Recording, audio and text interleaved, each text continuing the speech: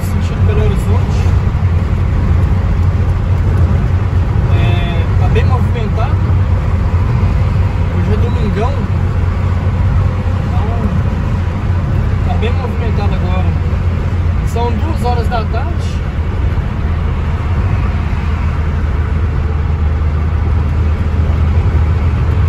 Até que tá fluindo bem o trânsito.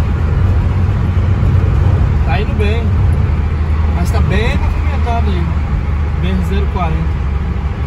Do lado esquerdo é sentido Rio de Janeiro, Paulo Preto, Mariana, Conselheiro Lafayette. Já o lado esquerdo lá tá bem tranquilo, né? Sentido Rio de Janeiro, bem tranquilo. Só sentido Belo Horizonte que tá um pouquinho mais, digamos assim, com mais fluxo, né?